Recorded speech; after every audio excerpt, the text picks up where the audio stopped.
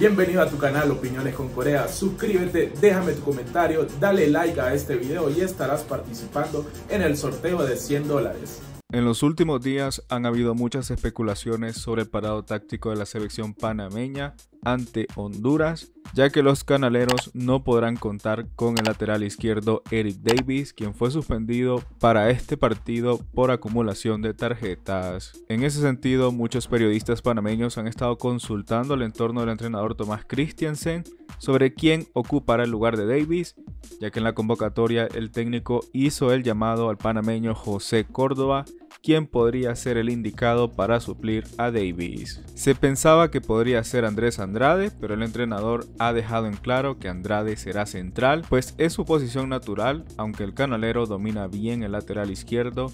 En reiteradas ocasiones se ha visto al jugador en ese sector con el Arminia Bielefeld en la Bundesliga, pero en este octagonal lo ha hecho de central. Por su parte, Córdoba en su llegada al país atendió a los medios de comunicación y habló sobre el rol que podría desempeñar en este su primer llamado en la selección. El jugador indicó que no tiene problema alguno en jugar en el lateral, a pesar de que es central. Pero en varios medios de Panamá han dicho que Córdoba tampoco será utilizado como central, lo que le abre la posibilidad a Jorge Gutiérrez para ocupar ese puesto. Gutiérrez es un habitual lateral izquierdo del Tauro, ha estado en el grupo con Tomás Christiansen en los últimos llamados, por lo que también le abriría la puerta a jugar como titular en una eliminatoria mundialista. En el ataque, Ismael Díaz podría ser la novedad ante los hondureños.